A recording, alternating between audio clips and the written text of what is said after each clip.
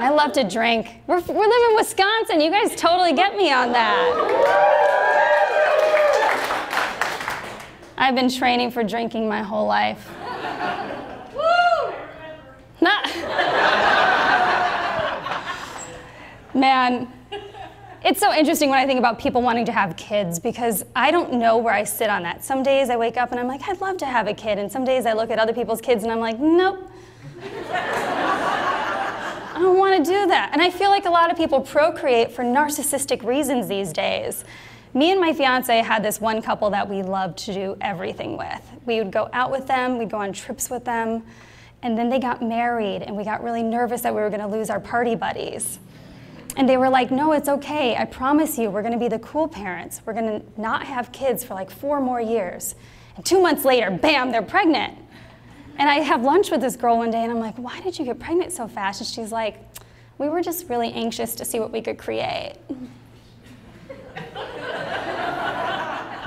oh, so you made a person? Good for you. Want to see what you can create? Go to IKEA, get a table, put that together.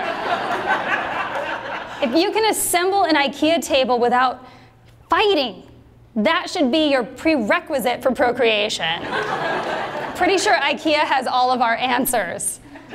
I don't know if I should ever have kids. Has anyone ever pinched a baby because they didn't want to hold it anymore?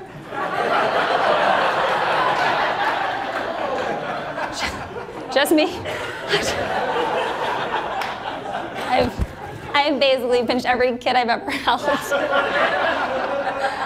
It's an amazing feeling to be done and then it just cries and you give it back. I don't know what happened. It works. It works every time. I've been pinching babies since 99.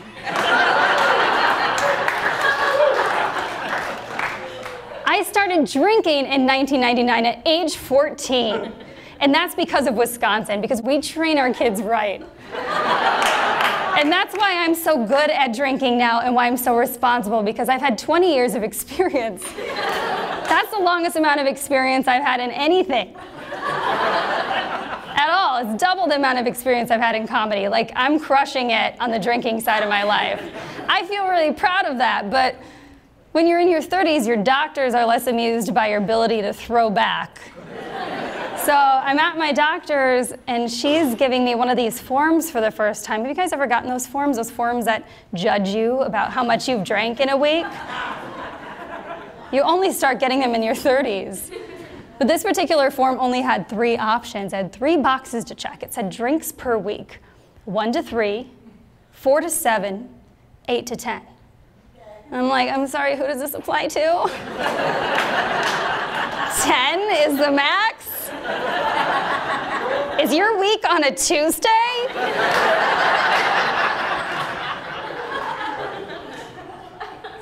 and so I drew in a, a fourth box and I wrote 16 to 26. But in parentheses, I wrote depending on the week. And my doctor did not find that funny at all. She looks at me and she's like, oh my God, you drink a lot. And I was like, well, all my friends drink that much. And she was like, well, technically, that's functional alcoholism. And I was like, well, then I guess technically all my friends are functional alcoholics.